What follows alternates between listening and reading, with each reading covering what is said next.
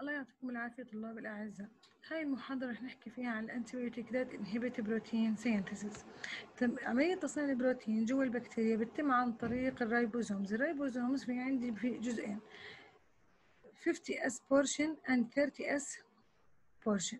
الكلورامفينيكول بيشتغل على ال 50S portion. رح نحكي عنه. التتراسايكلين على ال 50S ال macrolide على ال 50S بالمقابل ال aminoglycoside بيشتغل على ال 30S ودواء كمان اسمه ال linezolid بيشتغل على ال 30S portion. ما بدنا نعرف كل aminoglycoside على أي جزء أو اسفه كل مضاد حيوي على أي جزء بيشتغل. بشكل عام رح نحكي فقط إنهم بيمنعوا ال protein synthesis.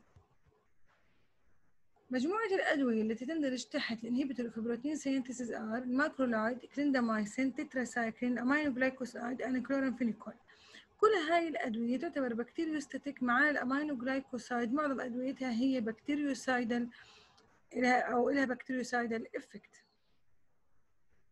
ال macrolide بيحتوي ثلاث أدوية اللي هم ال erythromycin ال clarithromycin and azithromycin. The mechanism of action هو انهم يمنع ال protein synthesis within bacterial cells. وحكينا من اللي هم bacteriostatic activity لكن إذا زدت الجرعة بشكل أكبر ممكن يتحولوا ل bactericidal ال erythromycin بيشتغل على ال microorganism نفس البنسلين G عشان هيك ممكن أستخدمه بالمرضى كبديل عند المرضى اللي عندهم allergy to penicillin. بينعطى orally أربع مرات باليوم موجود على شكل IV والامتصاص له بيزيد لما باخده على معدة فاضيه بالنسبة للكليريثرومايسين بينعطى فقط orally أو عكس اللي حكينا عنه قبل شوي ال food increase its absorption الامتصاص بيزيد امتصاصه أو الأكل بيزيد امتصاصه. It has activity similar to erythromycin لكن بيشتغل أكثر على الهمو... النوع بكتيريا اسمها ال Haemophilus influenzae أو بنحكي لها ال H. influenzae وهذا الدواء له activity على ال intracellular pathogen اللي هن ال microorganism اللي بيعيشن جوا الخلايا مثل الكلاميديا والاتش بايلوري والجريلا والموركزيلا أكثر من الاريثرومايسين آخر دواء اللي هو الازيثرومايسين هذا الدواء موجود على شكل oral and injectable form والأكل بيعمل interferes with the absorption. It is dosed once daily بيعطى مرة واحدة باليوم it is less active against streptococci and staphylococci than erythromycin it is far more active than erythromycin against respiratory infection اللي ممكن يتسببها ال H. influenzae وال Moraxella catarrhalis وهو دواء المفضل استخدامه بحالة ال urethritis التهاب ال urethra اللي بتسببها ال Chlamydia trachomatis في عندنا بكتيريا اسمها ال Mycobacterium avium آه هاي البكتيريا ال infection اللي بتسببه دائما بفضل إني أستخدم معاه علاج بيحتوي على ال macrolide مثل ال clarithromycin أو الازيثرومايسين ال adverse effect من اللي هاي الأدوية لها GI side effect خاصة مع الاريثرومايسين ممكن الشخص يصير في عنده nausea vomiting diarrhea hepatotoxicity and flatulence and jaundice و anorexia لكن الأدوية الجديدة من هاي العائلة زي ال azithromycin وال clarithromycin لها GI adverse effect أقل من الإريثرومايسين ولها longer duration of action and better efficacy and better tissue penetration. ال macrolide it's well well distributed بكل انسجه الجسم ما عدا spinal fluid بالنسبة لل excretion of macrolide ال erythromycin وال azithromycin بيطلعين عن طريق ال bile as active drug بالمقابل. الأريثرومايسين بيطلع mainly عن طريق ال kidney and the liver في عندي drug drug interaction مثلا ال clarithromycin interferes the metabolism of other drugs مثل ال theophylline وال statin and numerous antibiotic drug كمان ال macrolides تعتبر high protein bound فبالتالي ممكن تعمل severe interaction مع أدوية ثانية بترتبط مع البروتين وشرحنا عن هاي التفصيل. بال introduction وكمان ممكن ال macrolide يصير بينها وبين ال digoxin interaction إذا شخص أخذ macro macrolide و digoxin ممكن تركيز الديجوكسين بالدم يزيد بشكل كبير والشخص يصير في عنده digoxin toxicity ثاني مجموعة بتشتغل عن طريق امتناع ال protein synthesis in bacteria are أو tetracyclines ال tetracyclines بتحتوي دوايين واحد اسمه تتراسايكلين من اسم العيلة نفسها والثاني اسمه ديكسيسايكلين التتراسايكلين له short duration of action وبينعطى أربع مرات باليوم. بالمقابل الدوكسيسايكلين له long duration of action فبالتالي بينعطى مرة واحدة باليوم. Mainly ال bacteriostatic activity بيمنع ال protein synthesis they work against gram positive and gram negative bacteria protozoa اللي هي الكائنات الأولية and spirochetes mycobacteria and atypical species. في عندي مجموعة من البكتيريا اسمها atypical species. بتمر معكم أو مرت عند الناس اللي أخذوا microbiology mainly هاي الأدوية تستخدم عشان أعالج ال acne حبوب الشباب وال Chlamydia infection أو أكثر دوا بيستخدموه اللي هو الدوكسي ساكلين مشكلة هاي المجموعة تتراساكن انها بترتبط مع الأيونات زي الكالسيوم والمغنيسيوم والألمنيوم وبتعمل عندي insoluble complex آه، مثال على الأشياء اللي ممكن تحتوي هاي الأيونات زي dairy products ال antacid and iron salt فبالتالي بقل ال oral absorption لل tetracycline يعني إذا شخص أخذ dairy product هي المنتجات الحليبية مع ال tetracycline ال tetracycline بيرتبط مع الكالسيوم اللي جواتها فبالتالي بقل امتصاص التتراسايكلين وامتصاص الكالسيوم فبالتالي بقل الاستفادة سواء من الكالسيوم أو من التتراسايكلين. عشان هيك هاي الأدوية أو هاي التتراسايكلين ممنوع أستخدمها بالأطفال اللي عمرهم أقل من ثمان سنين وممنوع أستخدمها ب pregnant and lactating women فهي بيحكي لنا هاي الرسمة السوداء هي قديش تركيز الدواء أو التتراسايكلين بالجسم إذا أخذته على معدة فاضية. بنشوف إنه الامتصاص كثير عالي وتركيز الدواء بالدم عالي. لكن إذا أخذت التتراسايكلين مع ال antacid مضادات الحموضة اللي فيها الألمنيوم بنشوف إنه امتصاص الدواء كثير قل وتركيز الدواء بالدم صار كثير قليل. وإذا أعطته مع الحليب اللي فيه كالسيوم كمان امتصاصه بصير كثير قليل للدواء. بالنسبة لل excretion مين الدوكسيسايكلين بيطلع عن طريق ال bile بعدين بال feces؟ عشان هيك هو مفضل استخدامه بحالة الشخص اللي عنده renal آه، failure أو اللي عنده مشاكل بالكلى. لأنه ما بيطلع عن طريق الكلى بيطلع عن طريق ال bile وثم عن طريق ال feces. The adverse effect of this drug are photosensitivity. بيكون الشخص عنده حساسية ل... ممكن الشخص عنده حساسية للضوء.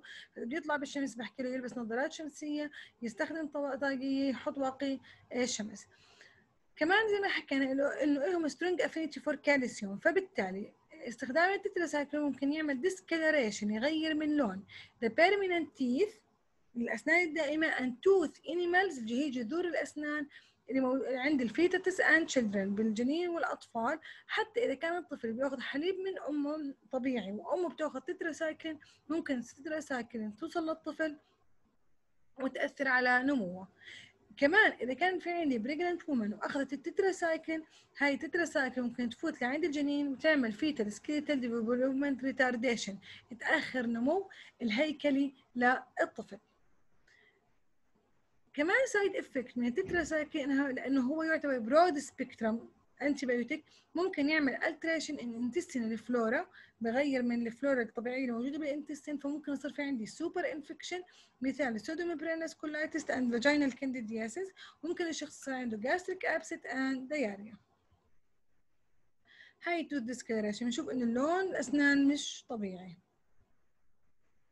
طب شو بدي أحكي للمريض لما باخذ تتراساكلين بدي أحكي له إنه يبعد عن ال milk product ال iron preparation وال antacid أو أي dairy product uh, because of the chelating and drug binding that occurs. يأخذ كل الأدوية مع ال fluid خاصة ال water وحكينا إنه يأخذ احتياطات مشان ما يصير عنده photosensitivity ثالث مجموعة اللي هم ال aminoglycoside ال aminoglycoside زي ال amikacin gentamicin tobramycin neomycin and streptomycin كيف بيشتغل هاي الأدوية؟ بتمنع ال protein synthesis وهن mainly bactericidal activity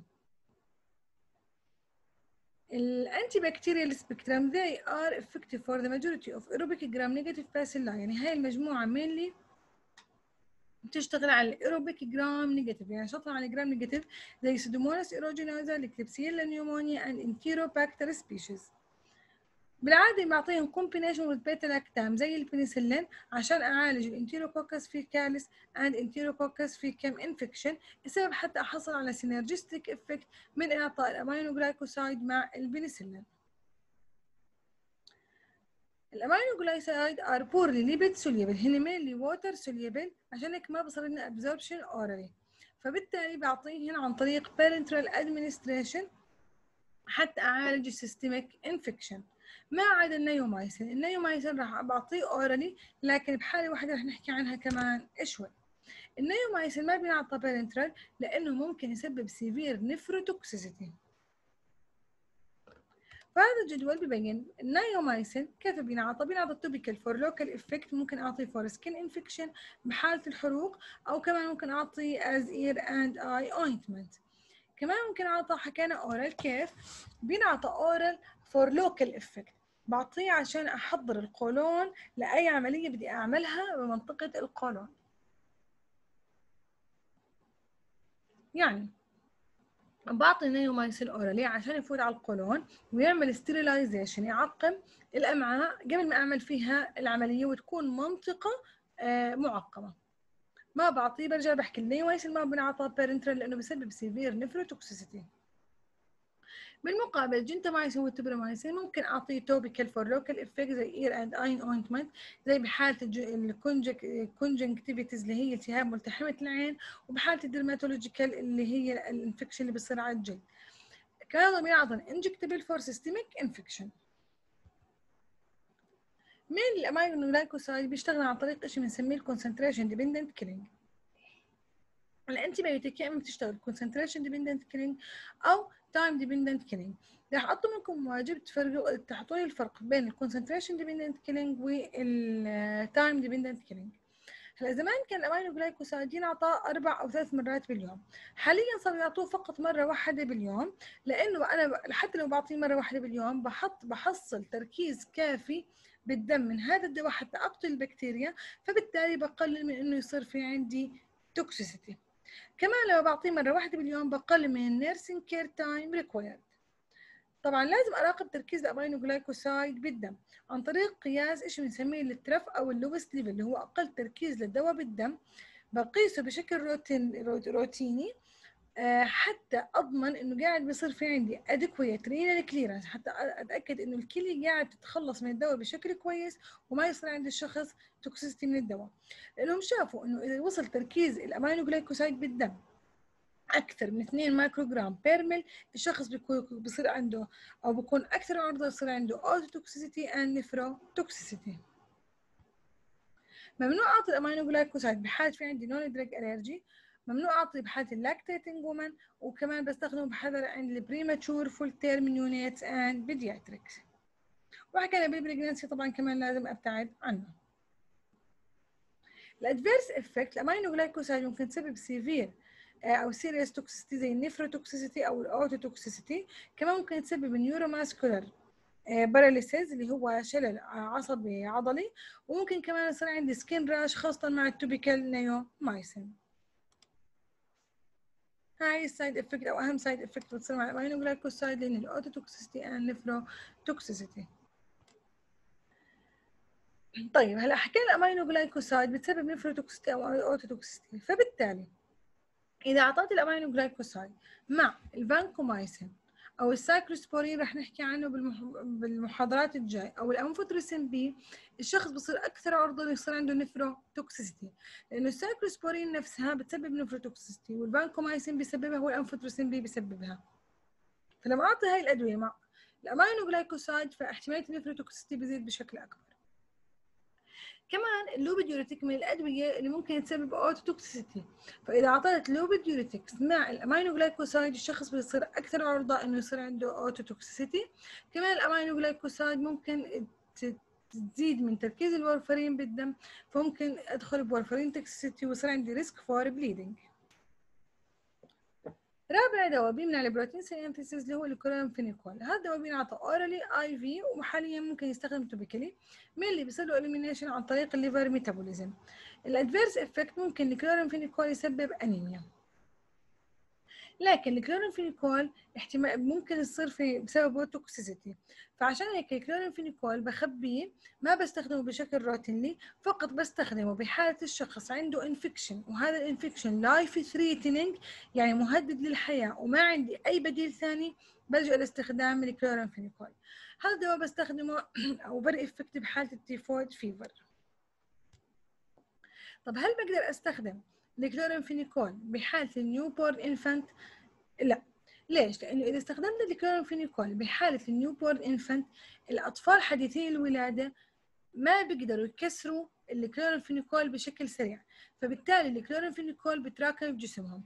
لما يتراكم الكلورامفينيكول عند الأطفال حديثي الولادة بصير عندهم syndrome اسمها ال gray syndrome والطفل بصير عنده circulatory collapse and shock occur يعني ضغط الدم عنده بقل على الآخر.